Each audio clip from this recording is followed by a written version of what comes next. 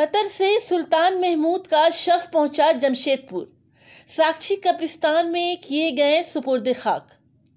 कुछ दिन पहले जहाँ कतर के दोहा में इमारत गिरने से जमशेदपुर के युवक आरिफ अज़ीज़ का इंतकाल हो गया था। ठीक दस दिन के अंदर ही एक और दुखद खबर कतर से सामने आई थी। खबर के अनुसार सुल्तान महमूद, जो कतर में जैतून मल्टी क्यूजीन रेस्टोरेंट में पिछले पाँच साल से कार्यरत थे। उन्हें काम के दौरान तीन अप्रैल को इफ्तार के बाद प्लग में स्विच लगाने के दौरान करंट लग गया था, जिससे वो ज़मीन पर गिर गए थे। जिसके बाद उन्हें अस्पताल ले जाया गया, जहाँ डॉक्टरों ने उन्हें मृत घोषित कर दिया। सभी कागज़ी प्रक्रिया के बाद हवाई रास्ते से आज सुल्तान महमूद के शव को कतर से कोलकाता और फिर कोलकाता से जमशेदपुर लाया गया। आज जोहर के नमाज़ के बाद जनाजे की नमाज़ साक्षी आम बगान मैदान में पढ़ाई गई। फिर सुल्तान महमूद को नम आँखों से साक्षी कब्रिस्तान में सुपुर्द खाक कर दिया गया।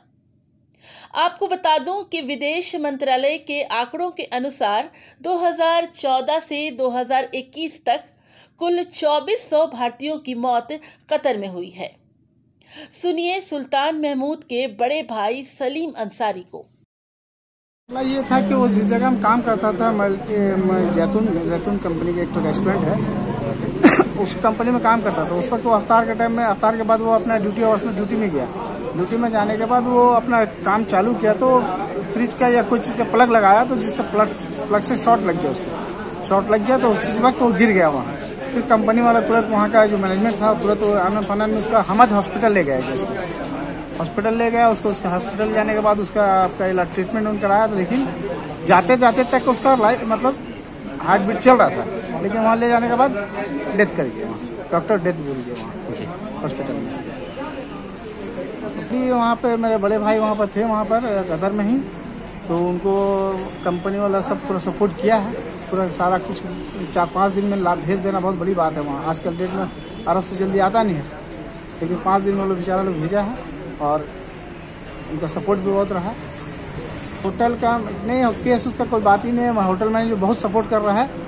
वो बोला है कि जब तक उनका दोनों बच्चा है और पढ़ाई लिखाई उसका पूरा लाइफ जब तक पढ़ी लिखी बच्चा लोग को देंगे, उसके बाद जो भी उनका सैलरी आता है, महीना वाला, वो सैलरी उसकी वाइफ को अकाउंट में डायरेक्ट भेज देंगे करेंगे, वो तो फिर केस करने का कोई मकसद नहीं होता, जब अगर वो कुछ, अगर कंपनी अगर कुछ दाया बाया करेगा तो आदमी बोलता है, लेकिन कंपनी तो बहुत सपोर्ट कर रहा है तो फिर कम से कम बोल के ही सपोर्ट कर रहा है, लेकिन इसका बात में अभी मैटर पर हम लोग बात नहीं किए फाइनली करेंगे इसके मैटर पर बात।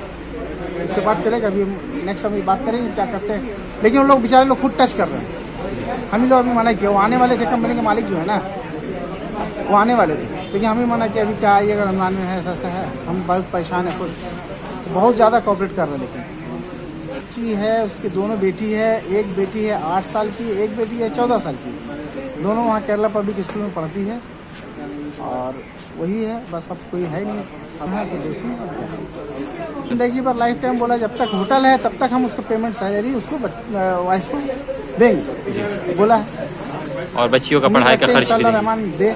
जी। बच्चियों की पढ़ाई का खर्च वगैरह बच्ची को पढ़ाई का पूरा खर्च वो बेयर करेंगे जब तक वो पढ़ेगी बच्ची लोग। ये साक्षी कब्रस्तान में हम लोग पहले वहाँ उनके घर ले गए जैसे दस बजे दिन में वहाँ से कलड़ा से आ गए। घर पे रखे सत्रह नंबर में सत्रह नंबर से फिर उसको लेकर के आमबागान मस्जिद में जहाँ आमबागान मस्जिद में उसका पढ़ाए। आपको जनाजा का नमाज़ उसके बाद यहाँ सुकुर खाक किया था साक्षी आपका पूरा नाम? मेरा नाम पूरा नाम मोहम्मद सलीम अंसारी हुआ। हम उसके उससे ऊपर वाले भाई हमें। और मेरे से ऊपर तीन भाई है मतलब हम लोग पाँच भाई हैं। सब भाई बहन में सबसे छोटा यही था। और बहुत मोहब्बत वाला भाई था भाई बहुत ज़्यादा इसका मान सम्मान था हम लोग।